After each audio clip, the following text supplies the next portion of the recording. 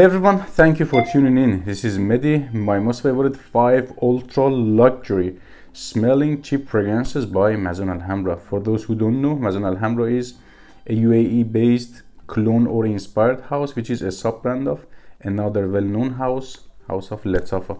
Without any further ado, Ambran Leather at number 5 which is clone of Ombre Leather but at some points only at the beginning, at the opening it differs compared to the ombre leather it is green somehow only at the first 10-15 minutes. But after that it goes out of that somehow barbershopy green vibe and leans very close to ombre leather. How is the scent profile? After that green opening at the dry down it is very smooth leathery.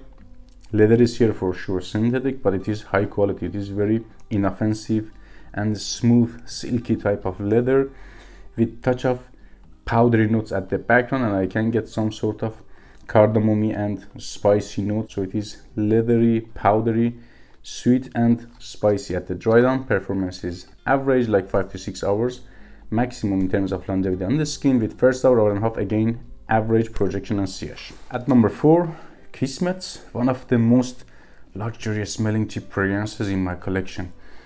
I bought it around 30 bucks and smells like 200 bucks. Very dressed up and expensive smelling type of fragrance. It is rosy it is sweet gives me some sort of boozy vibe. And it is like ambery dusty or earthy. It is dusty dusty is a better description for this one. It is very close to tuxedo by ysl or let's say it is clone of that fragrance. I prefer it for indoor and close encounters night times I can get average performance out of this one like again five to six hours maximum. Let's say good five hours with first hour hour and half soft average type of projection and sillage at number three bright peach such a beautiful underrated hidden gem. One of those must have inspired fragrances in any collection. Smells perfectly unisex. It is creamy yummy. I can get vanilla peach and some sort of jammy vibe at the background of the fragrance. Smells like peach flavored ice cream and ladies love this scent profile very much i have to say to you guys. They give me great reactions. Just i can't get enough of this beautiful fragrance. Oh my goodness. Very yummy. Very realistic peach note here. It is very juicy springy summery.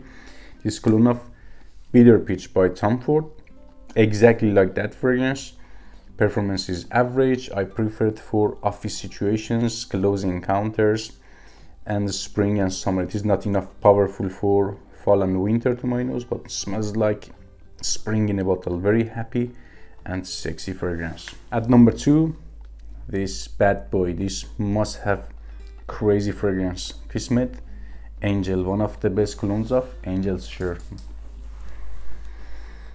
get this professional clone let's say juice inside is 10 out and it is very close to angel's share. It is smoky somehow woody. I can get some sort of wood absolutely at the background of this fragrance. It is boozy and gives me a little bit dried fruity vibe. Very crowded type of scent profile. For a cheap cologne fragrance this scent profile is wow just for me down to perfection to my nose. Yeah i can't believe it. I bought it around 30 bucks for 100 ml if angel's share is too expensive for you close eye get this one. It is not a blind by worthy fragrance but if you are into this type of niche scent profiles i mean performance is average. Again most of alhambra fragrances are average just galatea is a bit good like five to six hours and first hour and a half again average soft type of projection sillage and at number one my current let's say most favorite fragrance from this house i have no idea about tomorrow but right now this is my absolute most favorite one from maison alhambra. Mind-blowing. 10 out of 10 epic cologne fragrance. Crafted oud such a crazy fragrance. I really enjoyed very close to Tom Ford Oud Wood, but I can say not identical, like 70%, uh, 60% close. I can get some sort of suede vibe at the background of the fragrance. Tom Ford Oud Wood is not suede or somehow leathery. I can get powdery notes. I want to apply it on my skin. It's very beautiful. Oh my goodness. At the opening it is very close to oud wood but at the dry down gets a little bit powdery not as powdery as for example ombre leather. A little bit.